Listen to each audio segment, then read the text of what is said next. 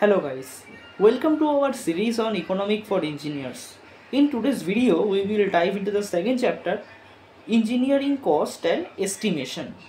Understanding cost is crucial for engineers as it helps in making the informed decision about the projects and managing the resources effectively. We will explore the different types of the cost, estimating the techniques and how they impact the engineering projects. Okay, so let's get started. At first, the fixed variable, marginal and the average cost. Fixed cost are the expenses that do not change with the production level like the rent and the salaries okay so variable cost like fluctuate based on the production such as the raw material marginal cost refers to the additional cost incurred to produce one more unit of a product. Average cost is the total cost divided by the number of units produced helping the businesses to understand their per unit expenses. So knowing this cost is essential for pricing their strategies and budgeting. Engineers must analyze this cost to optimize the production efficiency and minimize the waste by managing the fixed and variable cost effectively organization can improve the profitability. Okay? Now it is time to discuss about the sunk cost. So sunk costs are the expenses that have already been incurred and cannot be recovered. For instance if a company invests in equipment but decide to change change its strategy the cost of the equipment is sunk so it's important for engineer to recognize the sunk cost because they should not influence the future decisions. Making the choices based on the past investment can lead to inefficient outcomes instead of focus on the future cost and benefits when evaluating the projects. So understanding the sunk cost helps in making the rational uh, decisions and ensuring the resources are allocated wisely. Okay. So now opportunity cost. Opportunity cost refers to the value of the next best alternative that is foregone when a choice is made. For engineers, this could mean the potential benefits of choosing one project over another. For example, if a project is selected over another, the benefits of the second project are the opportunity cost. Recognizing this cost is vital for effective decision making. By considering the opportunity cost, engineers can evaluate whether their resources are being used in most beneficial way or not. So this helps in maximizing the returns on investment and the project outcomes. Okay. So now recurring and non-recurring cost. So recurring costs are the expenses that occur regularly over time such as maintenance and utilities. So non-recurring costs are one-time expenses like the initial setup or the purchasing the equipment. So understanding the difference between these costs is important for the budget planning or the financial forecasting. Engineers need to account for the recurring cost in the project budgets to ensure the sustainability. Non-recurring costs can significantly impact the initial investment. So it's essential to manage them wisely. Balancing both type of cost helps in making the informed financial decisions. Okay?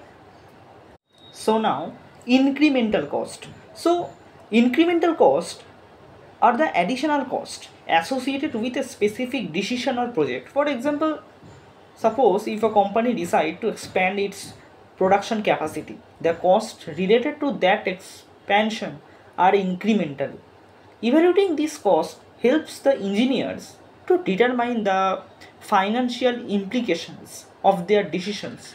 So by analyze, analyzing the incremental cost, they can assess the profitability of the new initiatives. Okay, so this allows for the better financial planning and the resource allocation. Understanding the incremental cost ensures that the engineers make sound the economic choices So cash flow cost or the cash cost uh, versus book cost. Cash cost are the actual cash outflows associated with a project, while the book cost are accounting values recorded on the financial statement. For instance, cash cost reflect the real expenses like the payroll, while the book cost may include the depreciation. Engineers must understand both type of the cost when assessing the project feasibility.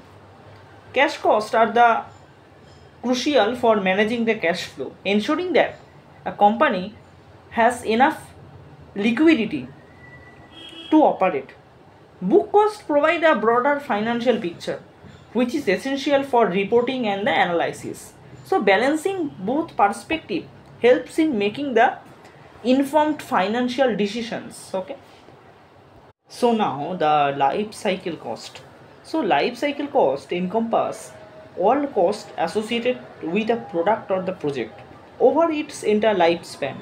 So this include the initial cost, the operating of expenses, the maintenance and disposal cost. Understanding the life cycle cost allows the engineers to assess the total economic impact of their project. By evaluating this cost, they can make more sustainable choices, selecting the options that minimize the expenses over time. So, life cycle costing also aids in long term planning and investment decisions. So, this comprehensive view is crucial for effective resource management in the engineering project okay? So now types of estimates. So there are several types of cost estimates including the preliminary preliminary estimates the detailed estimates and the control estimate. Preliminary estimates provide a rough idea of the cost early in the project while the detailed estimates are the more accurate and based on the comprehensive analysis. Control estimates helps to track the actual cost against the budget figures. Engineers use these estimates to plan and manage the resources effectively. Knowing which type of estimate to use at different project stage is vital for the successful project management. Okay. So accurate estimates contribute to meeting the deadlines and staying with budget.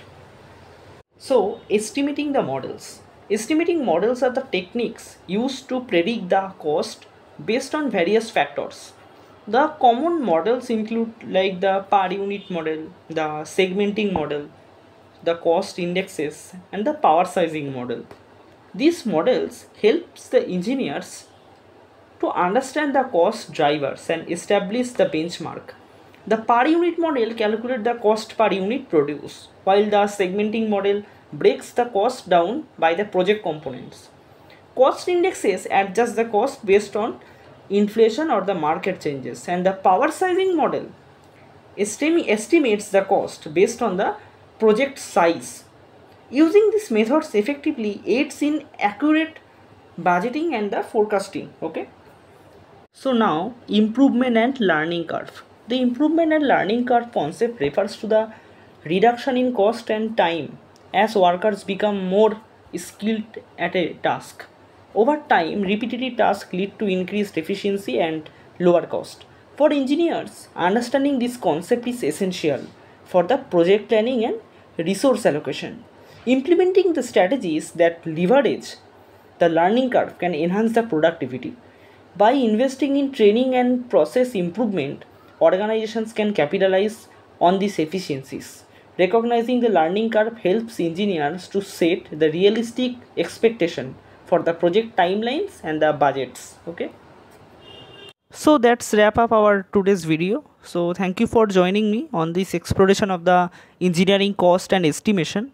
I hope you found the video and the concepts clear and the helpful for your studies. Remember, having a solid understanding of cost can greatly enhance your decision making skills as an engineer.